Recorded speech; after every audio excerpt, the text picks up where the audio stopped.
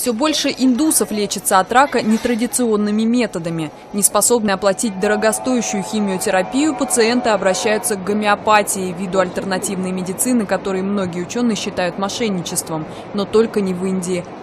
В этой клинике в Калькутте лечат рак гомеопатическим препаратом псаринум. У 55-летней Мали Рапур рак яичников. Диагноз ей поставили в 2008 Женщина прошла три курса химиотерапии, но легче ей не стало. Однако теперь у Мали появилась надежда. Попробовав на себе псарином терапию, она говорит, что размер ее опухоли уменьшился.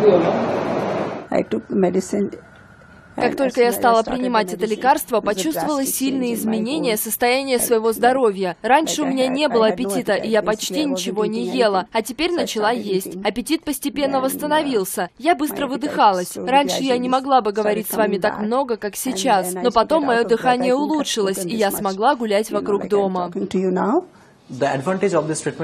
Преимущество такого способа лечения в том, что пациент может лечиться, оставаясь дома, и нет большой потребности в госпитализации. Жидкий препарат принимают внутрь. Курс лечения длится два месяца и стоит около 85 долларов. Для многих индусов решающим фактором оказывается именно цена. Мало кто в бедной стране может позволить себе дорогостоящее лечение. Врачи говорят, что псаринум терапия лечит более 30 типов рака, в том числе кишечника, печени, желчного пузыря, яичников и желудка. При этом препарат можно совмещать и с химиотерапией, если заболевание находится уже на поздней стадии.